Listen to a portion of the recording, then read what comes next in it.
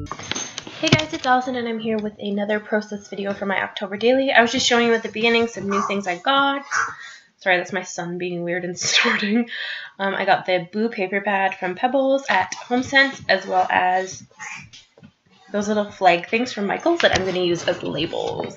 There's so many in there and everything is 50% off right now. So I think it was like two bucks for like 50 of them, which is sweet. And oh, excuse me, they're black and gold, so it's not like you can't use them for something else.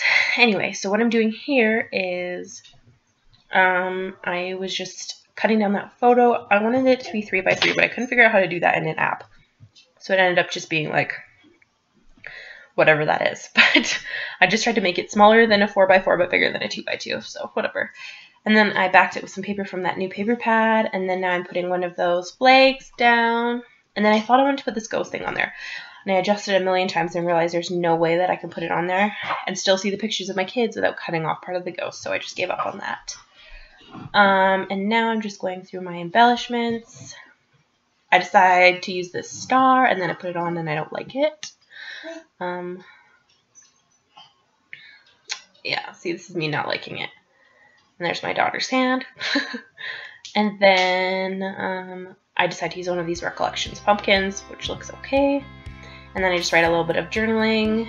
I promise you can't actually see anything in that picture. Yes, it is a bath time photo, but you cannot see anything. So don't worry. Um, and then I just use one of these little baths It's my last one. I really want another one of the sticker sheet, but I cannot find it anywhere. It's like sold out everywhere, which sucks. So, um, some people have been finding them at Home HomeSense. I have not found it at HomeSense. So, sorry, there was a few of my daughter's cup. I was fixing it. Um, and so now I'm just cutting down some of these 2x2s. And, um, yeah. So, yeah. Her cup was acting up. It's, like, weird. It, like, vacuum seals and you can't get any liquid out of it, so I have to, like, open it so she kept giving it to me to fix it. Anyway, so now I'm just matting these photos.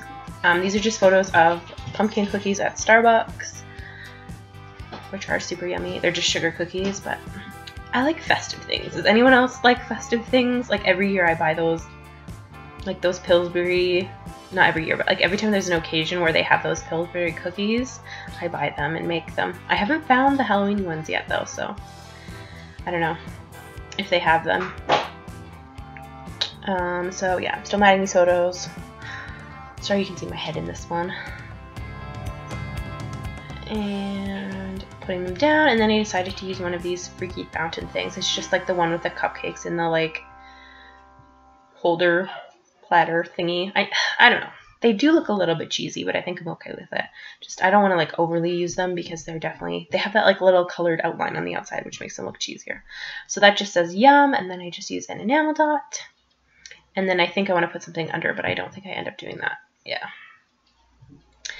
So now what I'm doing is I'm going to make a flip pocket. So I use another piece of paper from the Boo collection. This one is like a bunch of poison jars. It's super cute. I like it a lot actually, and it goes well like, obviously it's not quite the same, like, vintagey look, but it's still the same colors, except for it has green, but that's okay. anyway, so now I'm just matting my photos again. And um, I'm adding this photo. And then I'm going to put them down on the card. Sorry.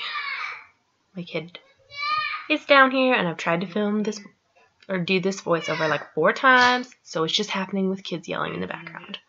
Anyway, so I went to the ephemera and I found this bird and this October. I promise my husband is out there with them. She's just getting mad at him. She's under control though. anyway, so I was just looking to see if there's anything else I wanted to put there, so I just put some enamel dots. And then I decided to make a flip pocket. I made my own um, because sometimes I cut down page protectors for Project Life. So I just uh, cut off a 4x6 part of one and then cut it down to 4x4. And then now I'm just fusing it.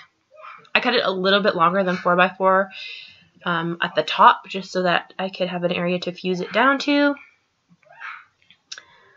And it actually worked really well. I'm happy with it. I was like very impressed by myself. I've never made one of these before, so you can see so much of my head. I Promise my hair is not greasy, it's just wet. anyway, so um, I was clapping, I guess. I don't know.